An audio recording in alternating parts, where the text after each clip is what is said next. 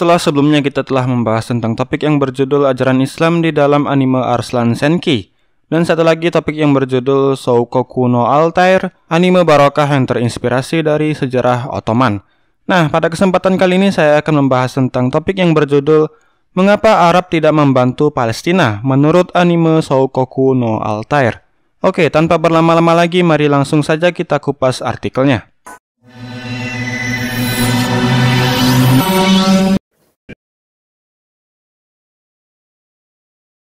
Assalamualaikum warahmatullahi wabarakatuh. Bagaimana kabar kalian? Semoga masih diberi kesehatan, kesempatan, dan keceriaan Sehingga masih bisa menikmati suguhan video artikel-artikel berkualitas dari channel Egagologi Dan jangan lupa juga untuk like, subscribe, dan share video dari kami ke grup chatting komunitas kalian Agar channel ini bisa menjadi wadah berkumpulnya bagi para wibu-wibu barokah di seluruh dunia Ya, jika sebelumnya kita telah mengupas tuntas seluk-beluk dari serial manga dan anime berjudul Shoukoku no Altair yang diciptakan oleh seorang kreator manga bernama Kotono Kato. Nah, pada kesempatan kali ini saya akan lebih membahas tentang pesan-pesan Islam dan ajaran-ajaran Islam yang terkandung dalam anime Barokah satu ini. Yap, seperti yang telah kita bahas di video sebelumnya bahwa anime ini memang benar-benar terinspirasi dari sejarah kekhalifahan Turki Utsmani pada zaman keemasannya di mana konflik yang banyak dimasukkan dalam serial ini adalah konflik persaingan antara kekaisaran Bizantium Roma melawan kekhalifahan Turki Utsmani. Dan by the way, karena akhir-akhir ini berita tentang permasalahan antara konflik Israel yang kembali menjajah Palestina kembali hangat di pemberitaan nasional dan internasional, maka mungkin akan sangat relevan jika kita mengupas bagaimana sebenarnya solusi yang ditawarkan anime Shoukoku no Altair dalam mengatasi permasalahan dan konflik yang terjadi di Palestina dan Yerusalem tersebut. Ya, sesuai dengan judul, topik yang akan kita bahas kali ini adalah tentang mengapa negara-negara Arab tidak mau membantu Palestina. Ya, sepertinya tema ini benar-benar sangat sesuai dan relevan dengan salah satu pesan yang terkandung di dalam anime Shoukoku no Altair ini. Karena ternyata anime ini memiliki jawaban logis tentang pertanyaan tersebut. Ya, tepatnya pada anime Shoukoku no Altar episode kelima hingga ke-8 yang menceritakan tentang kerajaan bernama Poinisia. Di mana di sana diceritakan bahwa pada saat itu sedang terjadi ketegangan yang berakhir dengan sebuah peperangan antara negara Poinisia dan kekaisaran Baltrain. Poinisia yang bisa dikatakan sebagai negara kecil pun akhirnya digempur habis-habisan oleh kerajaan Baltrain yang memang telah menjadi antagonis utama dari anime ini. Ya, di episode kelima dari anime ini kita diperlihatkan terlebih dahulu latar belakang dan penyebab terjadinya peperangan antara kedua kerajaan tersebut.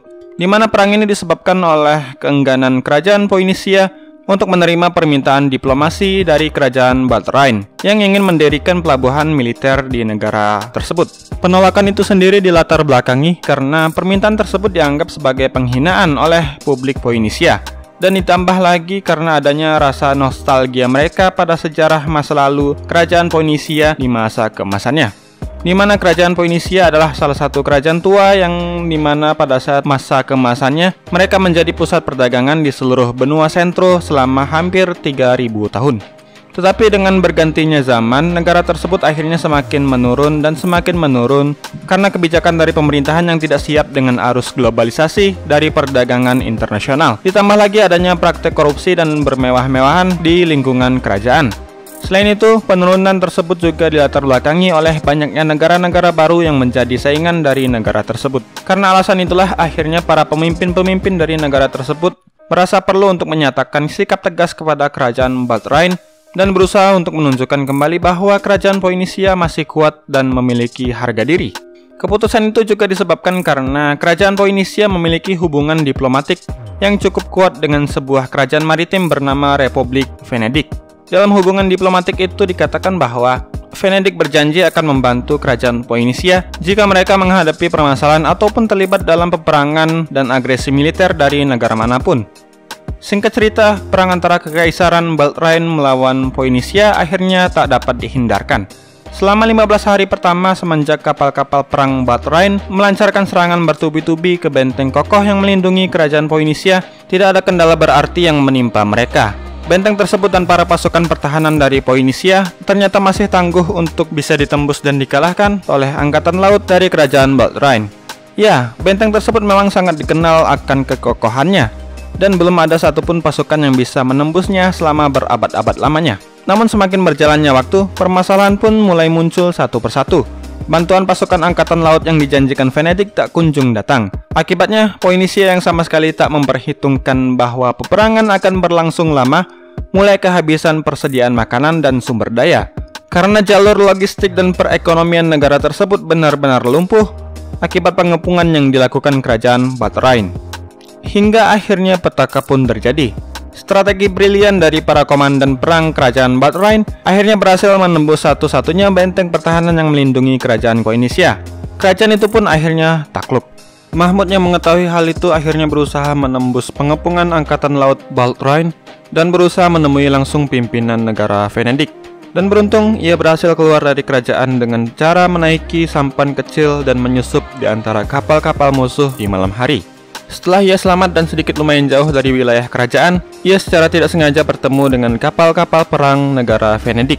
Mengetahui kerajaan Poinisia telah tumbang ditaklukkan oleh kerajaan musuh, Komandan armada pasukan Venedik pun akhirnya memutuskan untuk menghentikan misi mereka membantu Poinisia menghalau serangan Baltrain. Mereka pun akhirnya kembali ke negara mereka. Sesampainya di Venedik, Mahmud pun meminta bertemu langsung dengan penguasa negara tersebut yang bernama Doge Lucio. Dan ia pun menanyakan, kenapa Venedik tidak membantu kerajaan Poinisia dalam menghadapi kerajaan Baltrain. Doge Lucio pun menjawab, dia menjalin kerjasama dengan Poinisia bukanlah atas dasar saling percaya satu sama lain, melainkan atas dasar keuntungan bagi negara masing-masing. Selama kerajaan Baltrain tidak berniat buruk pada negara mereka, maka Venedik tak akan mau berperang dengan kerajaan Baltrain. Ya, pesan yang bisa kita ambil dari adegan ini adalah setiap negara yang berpedoman pada nasionalisme pastilah selalu akan mementingkan kepentingan negaranya sendiri terlebih dahulu dibandingkan kepentingan negara lain. Jika kebijakan-kebijakan yang diambil tidak membuat sebuah keuntungan bagi negaranya sendiri, maka mereka tidak akan berani untuk membuat sebuah kebijakan luar negeri seperti menyerang negara lain atas dasar agama. Maka jangan heran jika akhirnya banyak dari negara-negara Arab saat ini yang tidak mau membantu Palestina dari penjajahan Israel. Karena hampir seluruh negara-negara di dunia ini terbentuk atas asas pedoman berdasarkan nasionalisme. Dan sudah pasti mereka tidak akan mau menyerang Israel karena perbuatan tersebut tidak memuat keuntungan sama sekali bagi mereka. Ya, karena itulah banyak para ulama-ulama yang berpendapat bahwa afobiah alias fanatik terhadap batas-batas kelompok seperti negara sebenarnya sedikit bertentangan dengan asas ajaran Islam. Namun bukan berarti juga kita harus membenci negara dan berbuat makar terhadap negara karena hal itu. Yang ditekankan dalam larangan beralfabiah adalah sama seperti apa yang diilustrasikan dalam anime Foukoku no Alter, yaitu tidak peduli kepada saudara kaum muslimnya yang tersakiti di belahan dunia lain, dan selalu mengutamakan kepentingan negara dibandingkan agama. Seperti yang dikatakan Rasul dalam hadis yang berbunyi, Barang siapa mati dalam bendera kebutaan, marah karena alfabiah, berperang karena alfabiah dan mengajak kepada alfabiah, maka seperti kematian masa jahiliyah. Hadis riwayat Ahmad dan Muslim. Dan dalam hadis lainnya juga dikatakan, seorang wanita dari penduduk Palestina yang disebut Fasilah mendengar ayahnya bertanya kepada Rasulullah SAW, "Wahai Rasulullah, apakah termasuk alfabiah jika ada seseorang yang cinta kepada kaumnya?" Nabi bersabda, Bukan, Al-Fabiyah adalah seseorang membantu kaumnya untuk berbuat kezaliman. Hadis riwayat Ahmad. Sedangkan dalam Islam, ajaran Islam lebih mengenal dan selalu mengutamakan yang namanya ukhuwah Islamiyah. Seperti apa yang dikatakan Rasulullah SAW dalam hadisnya yang berbunyi, perumpamaan orang-orang yang beriman dalam hal saling mengasihi, mencintai, dan menyayangi bagaikan satu tubuh. Apabila ada salah satu anggota tubuh yang sakit, maka seluruh tubuhnya akan ikut terjaga dan turut merasakan sakitnya. Hadis riwayat Bukhari dan Muslim. Iya, dari hadis di atas bisa disimpulkan bahwa persamaan umat Islam itu adalah layaknya seperti satu tubuh, tidak terpisah-pisah dan tidak bercerai-cerai. By the way, jika kita definisikan sebuah tubuh makhluk hidup yang sempurna dan sehat, pastilah ia harus memiliki komponen-komponen wajib yang dimilikinya. Misalnya seperti komponen kepala yang berjumlah satu buah, lalu ada juga dua tangan dan dua kaki. Namun permasalahannya adalah saat ini umat Islam yang dikatakan sebagai satu tubuh ternyata sama sekali tidak layak dikatakan sebagai satu tubuh yang utuh. Karena saat ini seolah-olah tubuh umat Islam telah dicincang dan dimutilasi oleh ideologi-ideologi yang tidak sesuai dengan ajaran ukhuwah Islamiyah. Bahkan hingga saat ini pun tubuh umat Islam sama sekali tidak memiliki komponen terpenting dari sebuah tubuh, yaitu sebuah kepala alias pimpinan pemerintahan yang mengatur dan melindungi segala sesuatu yang berhubungan dengan kepentingan Islam di seluruh dunia, baik itu ritual, hukum, politik, dan lain sebagainya. Itulah kenapa seorang khalifah bisa dikatakan sangat penting ada di dunia ini. Perannya tak akan bisa digantikan oleh jabatan apa pun, apalagi jika jabatan tersebut hanyalah menaungi negara tertentu saja. Yap, memang terakhir kali tubuh Islam ini memiliki kepala yang utuh sebagai pemimpin dari tubuh ini adalah ketika kekhalifahan Turki Utsmani masih berkuasa di muka bumi. Dan seperti yang kita ketahui bahwa saat ini kekhalifahan Turki Utsmani telah runtuh karena tekanan dari berbagai pihak. Maka jangan heran jika akhirnya Palestina terasing di tanahnya sendiri, sedangkan Yahudi Israel justru bersatu dalam satu negara yang bernama negara Israel. Dan tak mengherankan jika akhirnya hadis Rasul yang mengatakan bahwa umat Islam akan menjadi seperti buih di lautan terbukti benar dan benar-benar terjadi. Karena umat Islam saat ini terpecah-pecah menjadi berbagai negara dan tidak lagi berasaskan pada ukhuwah Islamiyah. Lalu bagaimana dengan Organisasi Kerjasama Islam atau OKI? Apakah organisasi tersebut merepresentasikan persatuan Islam yang sebenar-benarnya? Yap, organisasi perserikatan ini memang menjadi tempat bagi negara-negara Islam berkumpul dan berunding.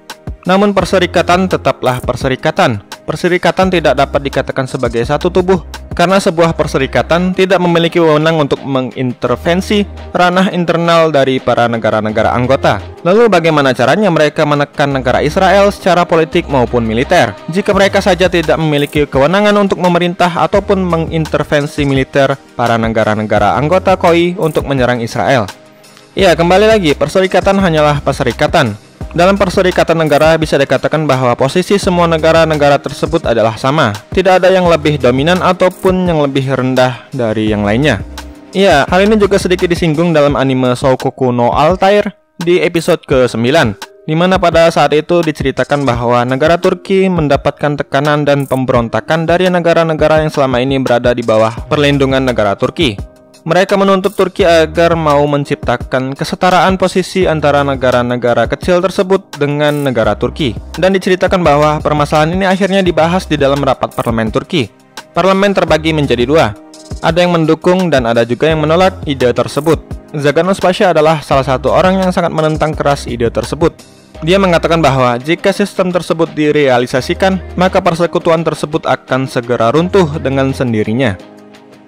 Ya, kata-kata Zagarnos Pasha itu menjadi logis karena jika semua posisi negara di persekutuan atau perserikatan menjadi sama, maka semua negara akan sama-sama menjadi pemimpin dan akan terjadi pembangkangan perintah dan hukum di sana-sini.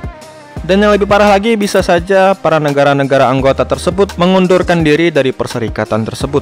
Ya, jika pun perserikatan tersebut memiliki seorang pemimpin, pemimpin tersebut tidak akan memiliki kewenangan untuk memerintah negara-negara anggotanya. Contohnya adalah seperti apa yang terjadi di dalam organisasi persekutuan OKI ataupun PBB.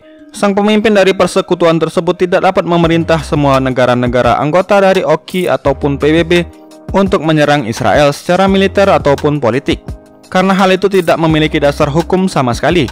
Yang mereka bisa lakukan hanyalah meminta-minta, mengemis, tanpa adanya langkah nyata dan real dari organisasi-organisasi tersebut.